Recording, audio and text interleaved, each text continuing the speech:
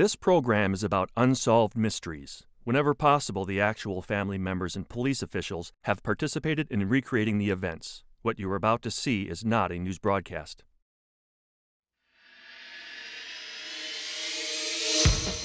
Is it mother's instinct or just coincidence? Tonight, a fascinating look at the mysterious telepathic link between mothers and children. Carolyn Ebert was cleaning up after dinner when she suddenly sensed that her eight-month-old daughter was in grave danger. Carolyn rushed to the living room and saved the baby from choking. Elaine Emmy was overcome by a strong, inexplicable feeling of dread during an out-of-town trip. Later, she would learn that at that very moment, her son had been seriously injured in a fall. Both women attribute their experiences to a special sixth sense possessed only by mothers. Also tonight, in 1990, Anita Green was gunned down by an unidentified man in the parking lot of her husband's office. Two years later, a friend of Anita's, Michelle Sammet, was writing a book on the case and found herself targeted by a vicious unknown stalker who she believes is the same man who murdered her friend.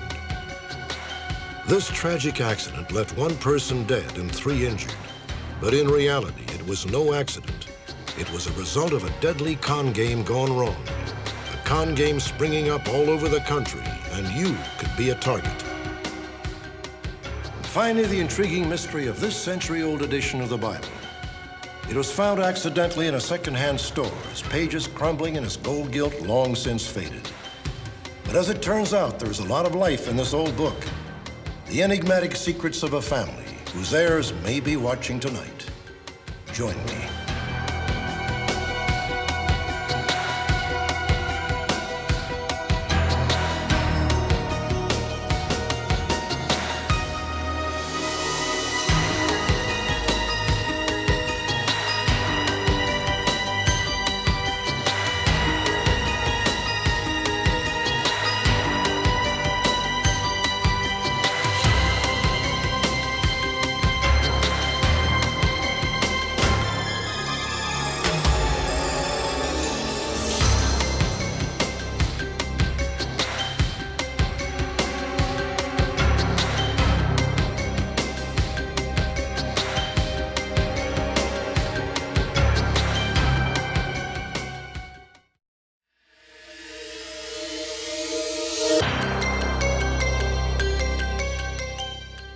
There seems little doubt that an almost magical bond exists between some mothers and their children. It is perhaps the most wonderful and heartwarming of all mysteries. January of 1974 was a blur of diapers and dishes for Carolyn Ebert, a mother of two. But Carolyn will remember one day in particular for the rest of her life. It was in the evening. I was in the kitchen doing the dishes. My husband was down the hallway reading the newspaper.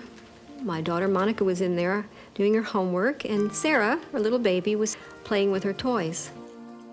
And you know, you're not, your mind is not really usually very far away from your children. You think about them. And this night, I was thinking about Sarah, and suddenly I had a feeling that there was something wrong. It was a very focused feeling. And in my mind, I saw that she was choking on something. I didn't know what. Sarah? Sarah?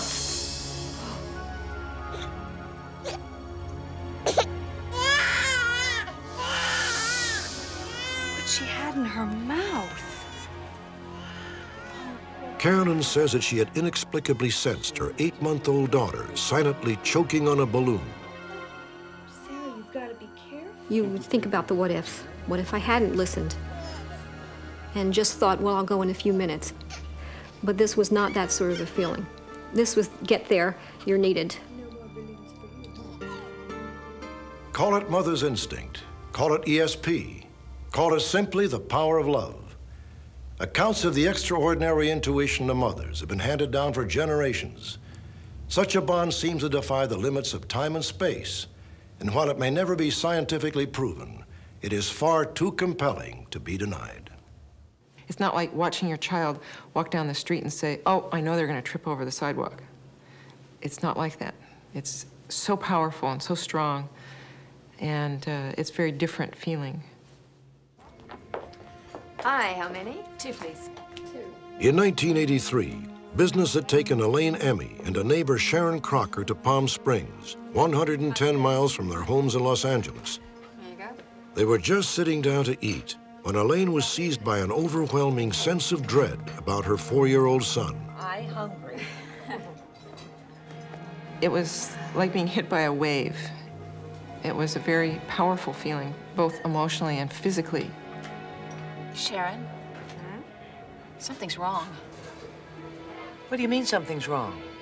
Something's happened to Matt. Oh, Elaine, stop worrying. I'm sure he's just. It's like someone flipping a switch. All of a sudden, you feel something. And two seconds before, you didn't feel that. You weren't thinking about that at all. Elaine, everything looks so good. I knew something was wrong with Matt immediately. And it wasn't just a foreboding. I mean, sometimes people get uh, a strange sense that something's not right. It wasn't like that. It was a very definite feeling, something that you couldn't just shrug off. Sharon Matthew has been hurt. I just know it. Elaine? I- I'm gonna go call home. I'll be right back. Elaine had instant panic. She wasn't what I would consider out of control, but just her mannerisms gave me the impression that she was very concerned and knew that there was something very wrong.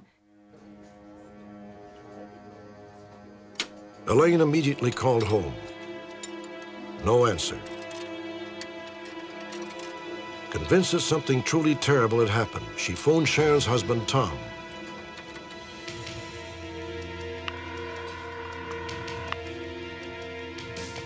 Hello? Hi, Tom. It's Elaine. Elaine? Where are you? Tom had not heard from Elaine's husband or seen anything unusual at their house just across the street. No. So I said, Well, then why don't we just have lunch? She said, No, there's something wrong. We need to go home. And that's what we did. Elaine, are you still worried? I don't know. I just can't get rid of this feeling that something awful's happened to Matt. Twice during the trip back to Los Angeles, Elaine stopped to call home. Do you want me to drive? No. Still, no one answered.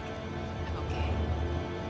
Sharon tried to reassure me that everything was probably all right, but the sense of urgency was still there. And uh, there was nothing I could do to get rid of that feeling. It was the longest three hours in Elaine Emmy's life. When she and Sharon finally arrived home, Sharon's husband had stunning news. He had learned that Matt was in the hospital. Dr. Davis to emergency stat. Matt. Mom. When Elaine arrived, Matt was being prepped for surgery to reattach severed tendons in his arm. He had fallen and crashed through a plate glass door at the very moment the sense of dread had swept over I Elaine. think Matt's gonna do just fine, aren't you? I was feeling what Matt was going through. No doubt about it. I don't think I ever questioned that. Um, I'm not sure why I was able to feel that, but I know without any doubt what I was feeling and what I was experiencing. It made the hair stand up on the back of my neck, thinking, oh my God, she actually did know that something was happening when it happened. Again? Good. Elaine and her son had been separated by more than 100 miles, and yet she had been as certain he was hurt as if she had seen the accident with her own eyes. Don't worry. Don't worry, it's going to be just fine, okay? I think that this connection starts in the womb. I think e- even in the womb, some children and some mothers are more connected than others. Uh, and if they are really connected, of course, then it will continue for the rest of their lives. It is a connection of love whereby the mother anticipates the child's needs, whether it's a small baby, toddler, an adolescent, but she anticipates it not only on a physical level, which of course is part of the maternal instinct, but on a level we might almost call telepathic, spiritual, so that the whole mother is in touch with the whole child. Sometimes it just happens once in a lifetime, and you may never be able to repeat it again. But it just happens. You have tuned in that one person who is sending out those signals because it's important to you.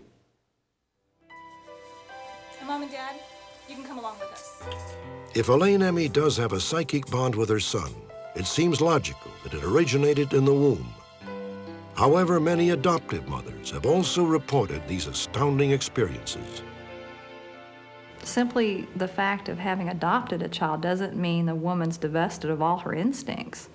And I believe that women have instincts, a woman's intuition, whatever you want to call it. In March of 1987, Linda Babb and her husband Dirk, already the parents of four, were looking to adopt for the second time. Linda says that around that time, she had a most incredible dream, unlike any she's had before or since. Now push, push real hard. Go ahead and push, push. I had a dream, and in the dream I saw a young woman, and she was in labor. A light-headed woman that was fair complected. And I didn't know who this person was, but I did see that she was in labor and at the point of giving birth. And as she pushed, I saw the baby's head crown and then be born.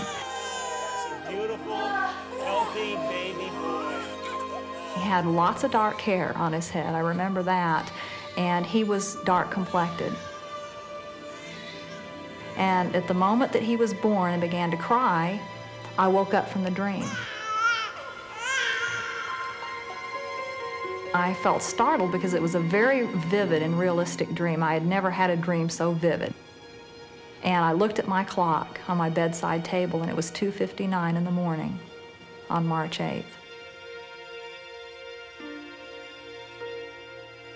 Next morning at breakfast, my wife said, Sweetie, I've got the most incredible dream. I witnessed the birth of a child.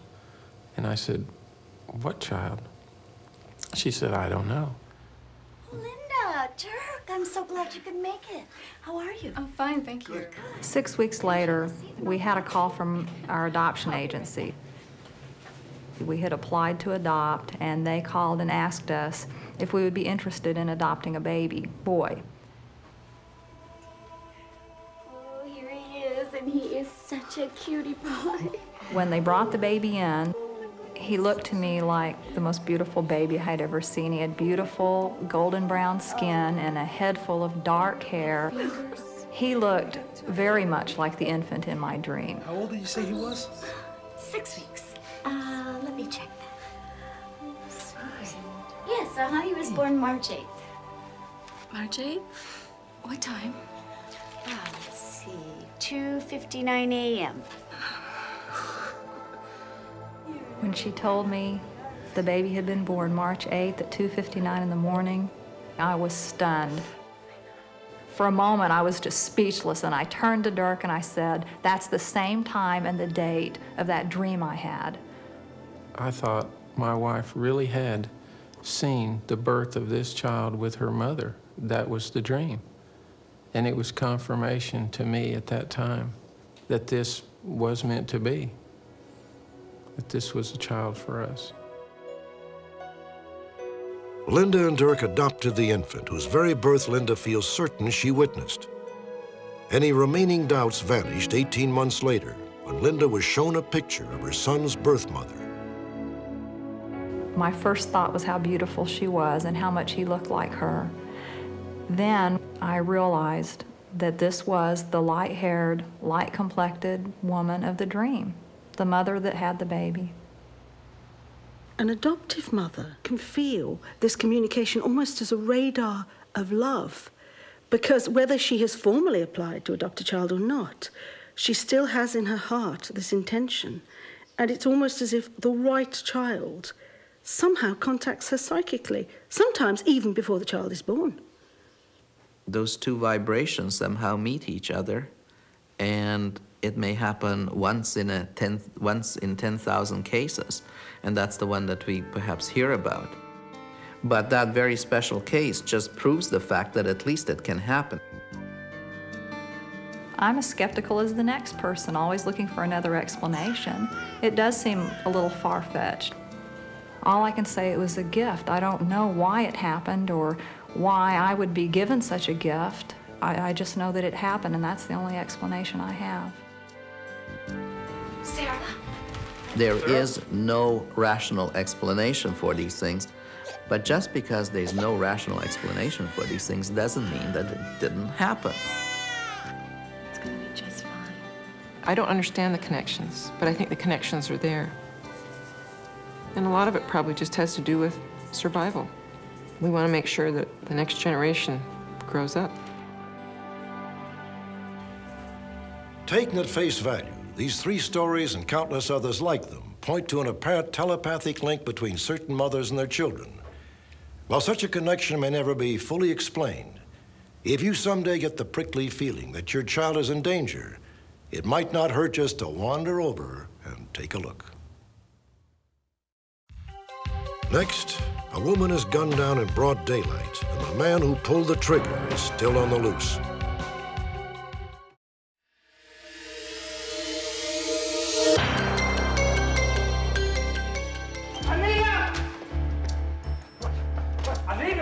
North Hollywood, California, October 25th, 1990.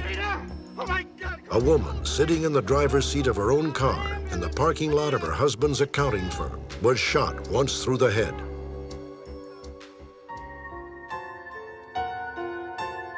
The woman's name was Anita Green. She never regained consciousness. After two days in a coma, she died, and the man who shot her is still at large. Now a woman named Michelle Sammet believes the same man has targeted her. Michelle was Anita Green's friend. She has written a book called No Sanctuary about Anita's murder. The knowledge that this guy's out there, out on the streets, terrifies me every day, whether it's the person I think did it or not, because any person who did it knows that I know a lot about this case that they don't want me to know. This is a chilling story of two innocent women. One of them murdered, the other apparently stalked. It is a most bizarre and complex case, one of the highest profile cases in recent Los Angeles history. The saga began in 1974 when Anita Green met her husband.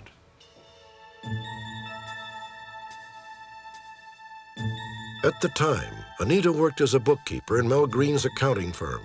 Both were married to other people. After nearly seven years, they left their spouses to wed one another. Anita's friends were shocked, not only because Mel weighed more than 500 pounds, but also because he convinced Anita to sign an outrageous prenuptial agreement. Basically, there was a provision in it that he wore the pants in the family, and he was the supreme boss, the god, the absolute ruler, and if they ever had an argument or disagreement, he would automatically win just because of that rule. We'll review Kathy's report on Wednesday night. Anita threw herself into activities at her synagogue. Anita. Mel. Hello? According to Anita's friends, Mel attended services less and less often as Anita's involvement grew. 8 p.m. Most of the time, Anita made excuses for her husband, but occasionally she let down her guard. Let's go. I'm late. All right. She'd say she was afraid of her husband, but then she said, oh, you know, Mel, he's just a loudmouth. He likes to hear himself talk. He's a blowhard. He's not really going to do anything to me. She had all the classic symptoms of an abused woman. Thinking they were in control, thinking that they knew what they were doing, but really frightened and scared. Anita took refuge from her marriage by becoming more and more involved in the synagogue.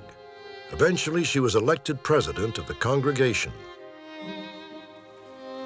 As a result, Anita and the rabbi saw one another more and more often. Allegedly, the two became entangled in a love affair. When Anita asked Mel for a divorce, he was infuriated. Anita is bad. She's immoral. She doesn't deserve to live. I absolutely demand that my property is handed over to me.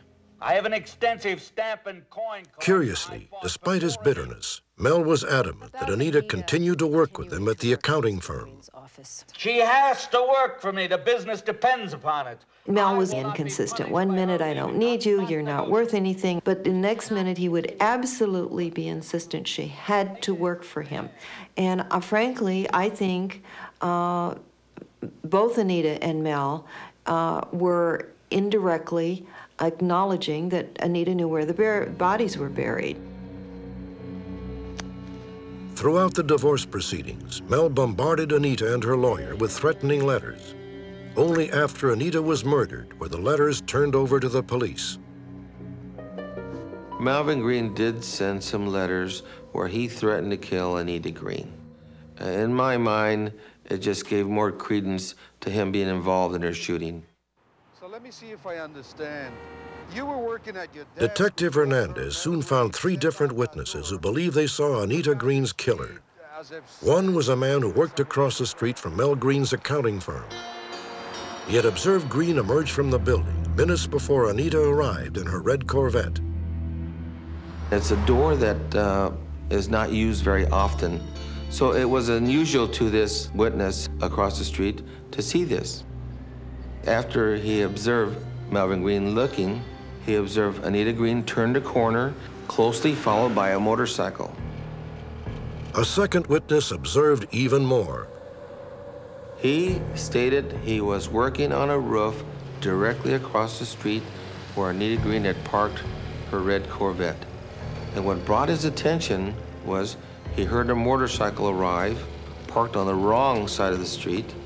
He observed the individual approach Anita Green, fire one shot, immediately ran to his motorcycle, and at a high rate of speed, go northbound on the street.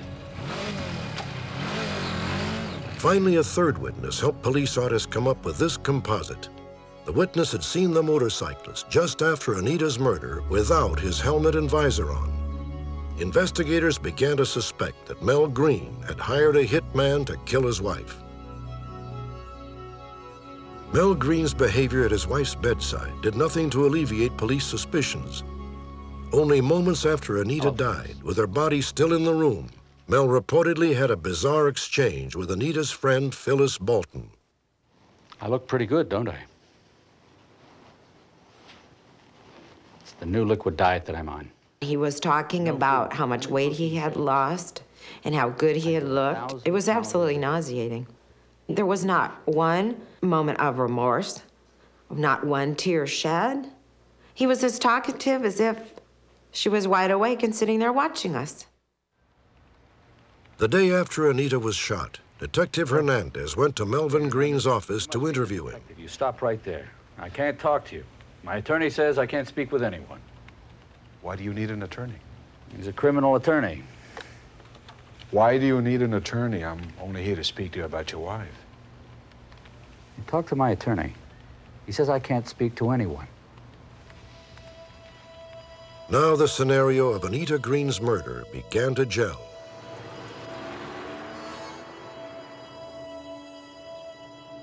We were able to piece together the fact that Melvin Green specifically controlled the date and time Anita Green was supposed to be at his office.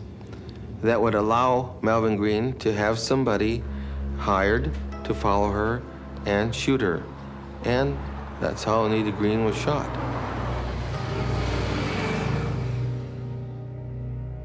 Ultimately, Melvin Green was arrested for conspiring to kill his wife, even though there was no direct evidence that he had hired someone to shoot her. On March 4, 1992, a jury convicted Green of first-degree murder and sentenced him to life in prison without the possibility of parole. But the case was far from over. Mel Green appealed, claiming he was innocent, and the hitman, whoever he was, remained at large. In May of 1992, Michelle Sammet visited Mel Green at the Los Angeles County Jail, where he was awaiting transfer to a state prison. Against his lawyer's advice, Green had agreed to be interviewed for Michelle's book. Hello, Mel. Hello, Michelle. How are you doing? I wanted to go in there with an open mind, and I started to listen to him. And for the first few weeks of our visits, I wasn't certain of anything anymore. If I didn't shoot her, there's no connection. So there's more than one road to reasonable doubt. But as our visits continued, Mel himself made me more certain of his guilt than ever before. Michelle continued her investigation, but one thing nagged at her. How and when had Mel paid the hitman? Michelle claims that in the course of her research, she finally uncovered evidence that Mel Green had sold off a $30,000 coin collection just three weeks before Anita was murdered. Michelle told the police about her discovery, but decided not to tell Mel Green. My innocence will come. Michelle claims that during one of their subsequent interviews, Mel made unusual comments when another visitor showed up. You have another visitor. Oh, all right. This is a man I call my brother because he'd do anything for me. In fact, he's a homeowner because of me. You can wait outside. Mel had visitors come every day during our visits. My visits were all day long. Mel had never asked me to leave during his visits before, and, and that alone I thought was unusual. And I went downstairs, and I went into my car and sat. I knew I'd have about a half hour until this guy came out. And my mind started to run away with me that um, this guy looked a lot like the police composite of Anita's shooter. According to Michelle, when the visitor left, he got on a motorcycle, which fit the description of the one driven by Anita's killer. When I went back to the jail, I made a very stupid mistake. I said to Mel, I've got this theory. You paid for the murder with the money from the coins you said Anita stole. She didn't steal them. You're not gonna write that. You can't write Michelle claims that when she told Mel her suspicions, he threatened her. Nobody's gonna put those lies about me. If you end up dead after I make a call, you'll know who did it.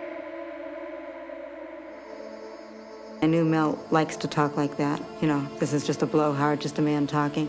And I realized, God, how stupid can you be, Michelle? That's exactly what Anita said, and she's dead. The next day, June 17, 1992, Melvin Green was transferred as scheduled to Calipatria State Penitentiary east of San Diego. He peppered Michelle Sammet with angry letters. He's threatened to harm my children. He's threatened to hurt me. Never before had I encountered this feeling of fear before because I'd never been so involved in a story before um, where it took on a life of its own. But I couldn't stop because I knew I had the potential to find the answer. Michelle Sammet says that over the next few months, someone began to stalk her. The front gate to her house was ripped from its hinges. The house itself was vandalized. And finally, Michelle says that in the driveway of her own house, an unidentified man hit her in the face, breaking her nose. A lot of that has stopped now that the book has come out. But of course, you always live your life fearing that what you've uncovered might lead to some potential danger for your family. For me, I'm okay because I understand that's the risk by taking this kind of story and by following through. For my children, I'm worried every day. Michelle Sammet believes the man she saw visiting Melvin Green in prison was the same man pictured on the police composite. He would today be in his early 30s. He has blonde hair, dark eyes, and a muscular build, and may own a red or maroon Suzuki motorcycle.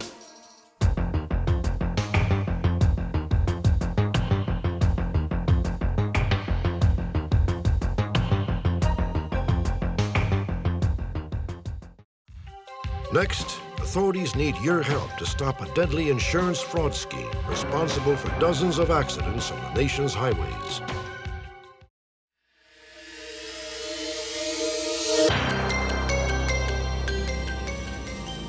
It is an all too familiar scene on our nation's highways. Emergency workers struggle to free the occupants of a car which has been rear-ended by a tractor-trailer rig. In this case, on Interstate 5 near downtown Los Angeles, the driver of the car and two passengers were rescued. However, a third passenger was pronounced dead at the scene. What made this tragedy all the more chilling was that it may not have been an accident at all. Authorities believe it was part of a carefully orchestrated insurance scam that backfired. The police in Los Angeles call it the swoop and squat, a scheme in which people intentionally create rear-end collisions in order to collect on bogus insurance claims. Authorities estimate that the swoop and squat cost consumers millions of dollars every year. Even though the scam originated in Southern California, it is now popping up all over the country.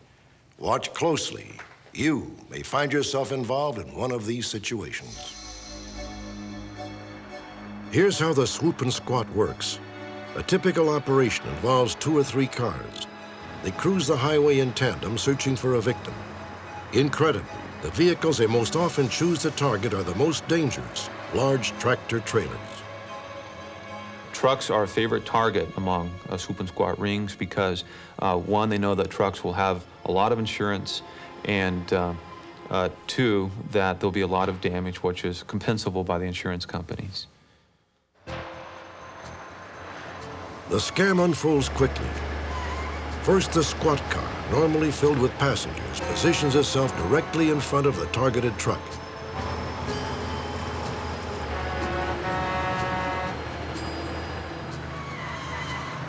Then a second car pulls alongside the truck, effectively boxing it in.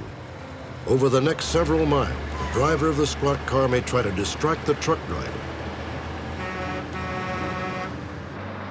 Finally, the swoop car appears and makes its move, forcing the other drivers to jam on their brakes.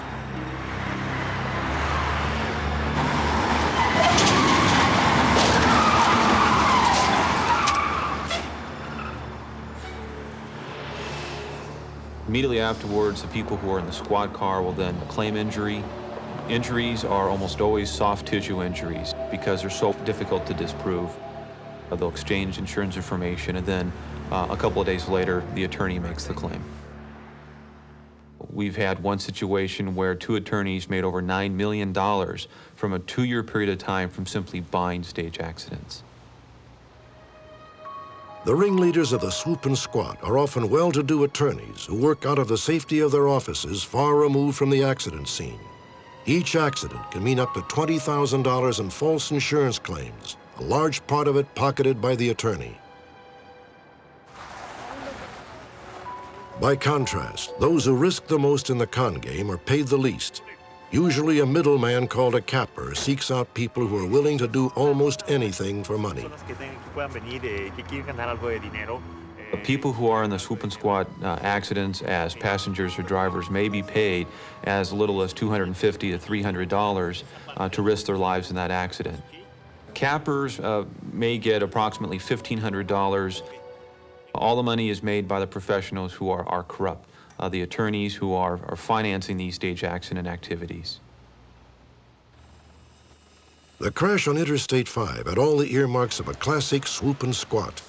But in this case, informants were willing to talk.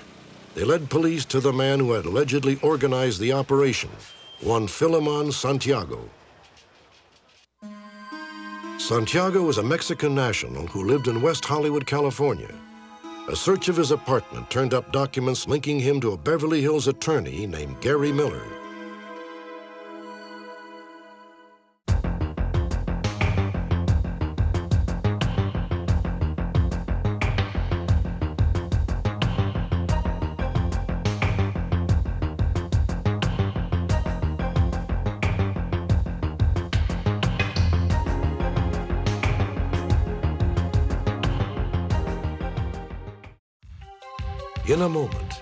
Intriguing mystery of an old family Bible.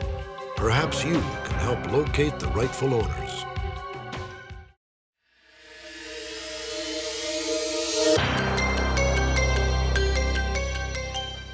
In a place like this, time stands still.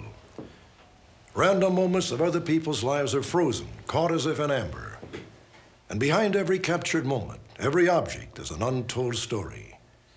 When you collect antiques, you never know when one of those stories might intersect with your life and draw you into a small, unsolved mystery of your own.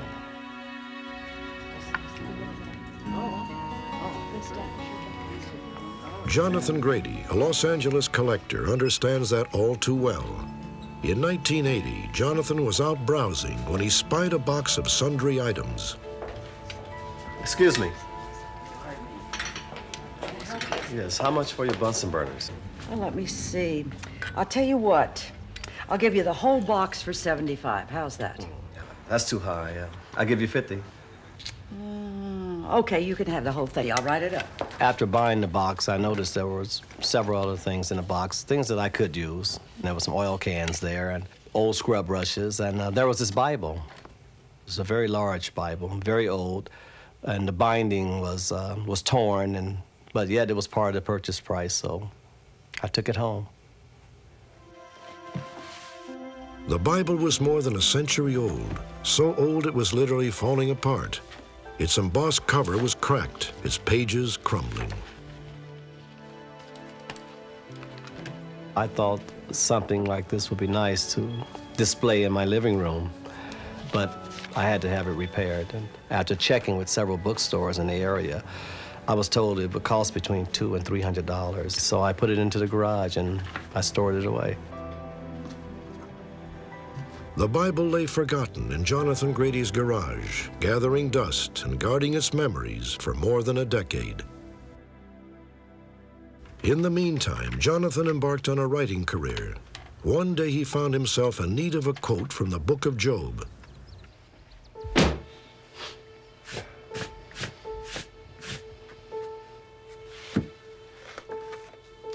As he leafed through the old Bible, Jonathan was caught short by a presentation page which he had not noticed before. Everything stopped right there. I was, I was completely surprised. I never found the character of Job. Instead, I found Lazarus. The Bible had apparently been given to a Mr. Charles Lazarus and his bride Fanny Bergman on their wedding day, March 25, 1874. They were married in Cincinnati, Ohio. When Jonathan turned the page, the history of a family unfolded. Charles and Fanny Lazarus had recorded the birth of two sons, Joshua and Samuel, and three daughters, Bluma, May, and Raina. Joshua had married Dora Fleischman of Americus, Georgia, Samuel Ada Hassett of Posen, Michigan, and Bluma, a German immigrant named Michael Michelson. On the facing page, Charles and Fanny recorded the birth of one grandchild, Bluma's daughter Helen May Michelson, born in Denver, Colorado on May 2, 1895. I looked at this Bible for several days after that. I would refer to this page back and forth. I watched his kids grow. Some unknown source pulled me into this man's life, and I have not quit. I have not quit trying to locate another man's family. This is Jonathan Grady in Los Angeles. I'm calling you regarding the Lazarus Family Bible. Jonathan became obsessed with returning the treasured family heirloom to its rightful owners. Thanks to his efforts, several newspaper articles were published, and he actually got a lead. This letter from 81-year-old Bernard Fleischman of South Carolina. Mr. Fleischman had an Aunt Dora, long since dead, from the town of Americus, Georgia. He felt she might be the same Dora Fleischman who married Joshua Lazarus. Unfortunately, Mr. Fleischman had lost touch with his Aunt Dora's family, but the letter only strengthened Jonathan Grady's resolve to find an heir to the Lazarus family Bible. There are family members. There were four siblings, living siblings of this man, all married. There has to be a granddaughter, a great granddaughter, a great great granddaughter. There's a relative there, I know.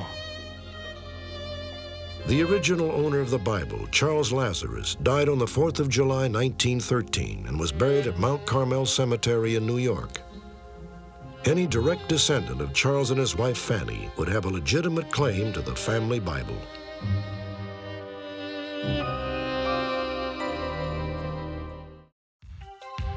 Next, a respected physician is now on the run, charged with sexual assault.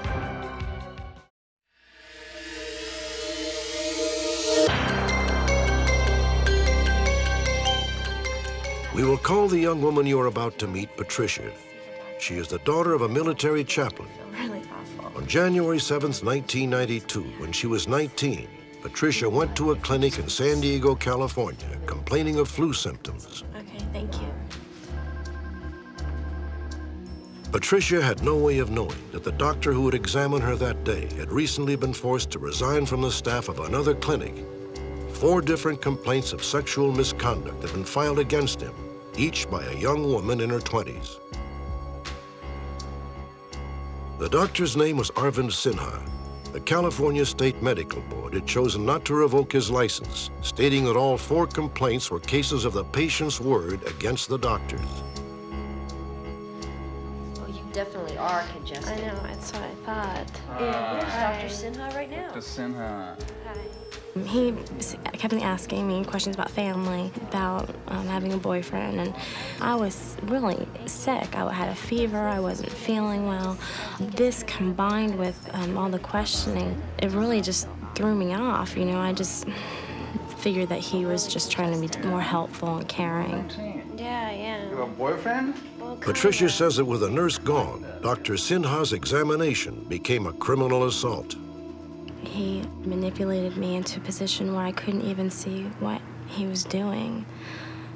And I didn't even know what he was doing or trying to do until I'd finally realized that he had raped me. After he had left the room, I just started crying. I knew what had happened, but I just could not believe that that had happened to me. I'm okay. Yeah, I, I, Patricia was afraid to let anyone at the clinic know what had happened. She telephoned her mother. A short time later, Patricia's parents took her to another hospital. She was examined and the authorities duly notified. After a week-long investigation, Dr. Arvind Sinha was arrested by Detective Christine Gregg of the San Diego Police Department. He had no reaction. He kept repeating after I told him what she was alleging. He said, Oh, how interesting. And throughout the interview, he repeated, How interesting. No emotion, no reaction, just. Uh, he said he didn't do it, that he might have been framed, but uh, I would have expected a little reaction out of an innocent person. The next day, Dr. Sinha posted his own $175,000 bail. Within a month, he had disappeared. Later, his medical license was revoked by the state of California. Every woman he's around is in danger. He's not going to stop. Uh, he had four warnings and lost a job, and then he came back and raped Patricia. He's not going to stop. The only two places I really felt safe was at church or at the doctor's office, you know. And now, you know, I don't have that trust for anybody anywhere.